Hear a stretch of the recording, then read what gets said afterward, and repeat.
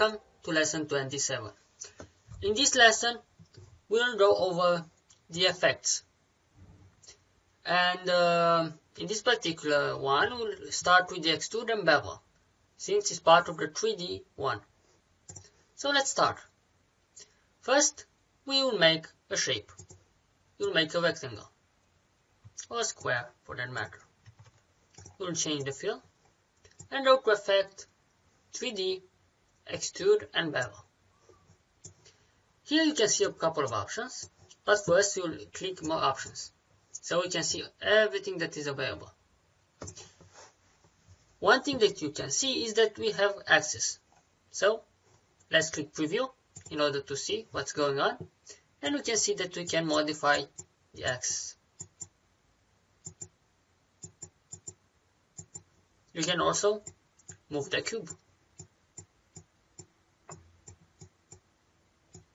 Okay, you can uh, select different views from here, front, back, left, right, top, bottom, and so on.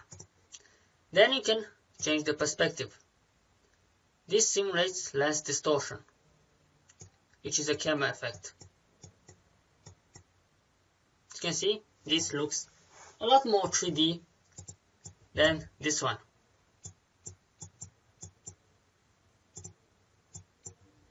Okay, you got the idea.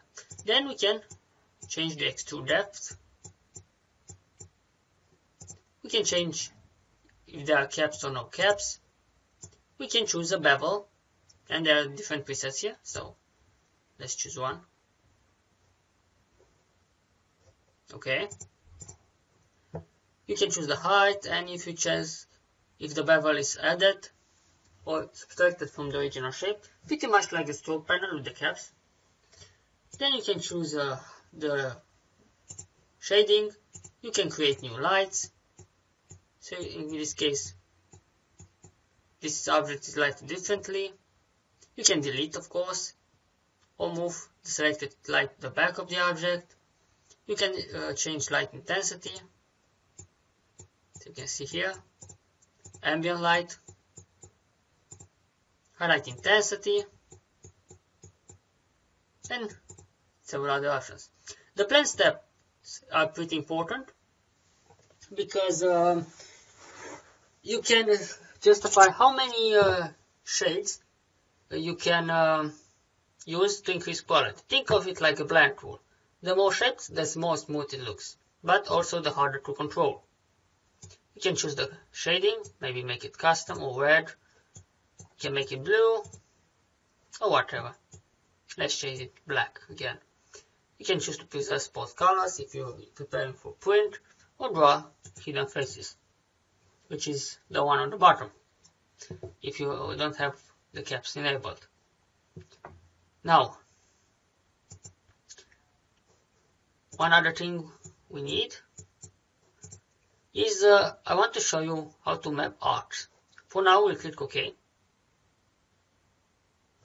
Or just choose a preset and uh, here in the map part, we can see different symbols we have.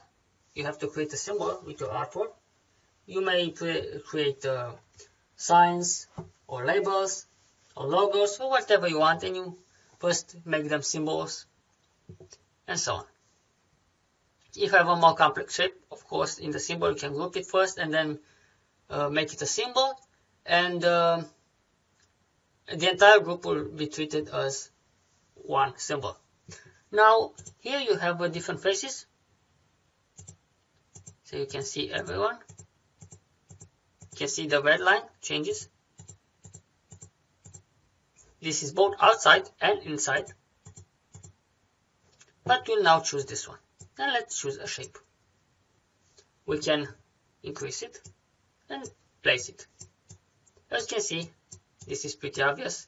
You can choose scale to fit or whatever manipulation we want. We can also shade the artwork and make it more realistic or use invisible geometry just to render in 3D without the actual shape. Again, you can quickly change them. So now we click OK. this is uh, fine. But we'll click cancel and we'll go to the next option. The next option is called revolve. So how does this work? Well, let's see. Revolve. We'll click preview and there you go. The shape is rotated around itself. This is not very obvious now, so let's uh, make another shape. Let's draw something that resembles a vase, or whatever object you want. Doesn't have to be precise. Okay. And now we go again to 3D Revolve. You click Preview, and there you go. You have a shape. Now there are some uh, artifacts here, because uh, of the lines we used, but we can change them later. Now, if you click more options, I can show you what blend steps means. You, if you look here, you can see that those are uh, a couple of bands. The effect is called banding, by the way. Same with ingredients you will use. And you, that is because there is not enough color information to make a smooth transition. But if we can increase the number of steps, this should solve the problem. Now, beware, it takes a lot more time to calculate, but you can see here now the shape is smooth. You can again you can change, you can adjust the angle.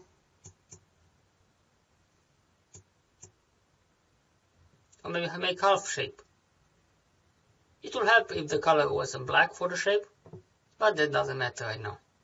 Again, you can map the artwork and change a couple of other settings. And you can put an offset if you want. Let's see what happens. Okay, you got the idea. Now let's move on. The last option is called rotate. Then we click preview and this just rotates an object. There is no special settings here. You just make it 3D. Okay. So you can see no special settings here. And this is for the 3D settings. In the next lesson we'll go through more options. But for now, this is okay. Thank you. See you next time.